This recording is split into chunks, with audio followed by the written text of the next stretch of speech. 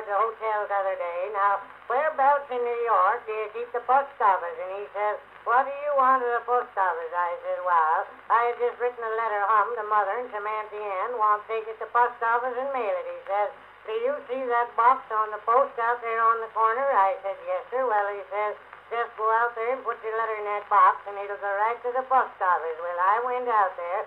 I had a good deal of difficulty getting the box open, and when I did get it open, I couldn't find any place to put my letter. There were a lot of knobs and hooks and hinges. Well, I turned around on the knob and yanked on a hook, and a lot of wheels commenced to buzzing and flying around.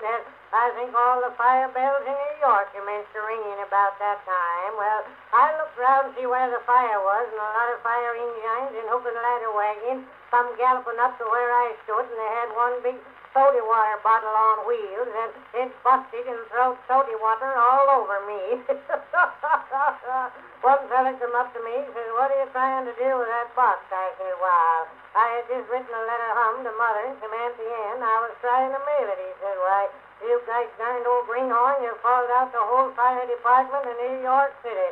There's your letterbox over there on the other corner. Well, I went over there and put my letter in that box, and I was standing there looking around. Fella come along, acted a little bit suspicious to me. When he thought I wanted watching him, he opened the box and commenced taking the letters out. Well, now here to tell a whole lot about them post office robberies when I was postmaster at Punkin Center, and I just arrested him right there. I took him by the nape of the neck and flopped him down on the sidewalk. I hollered fire, murder, watch, police said, a lot of constables come running up and they said, what are you trying to do with that man?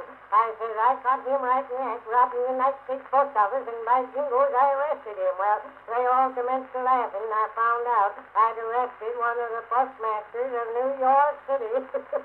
Ha ha ha!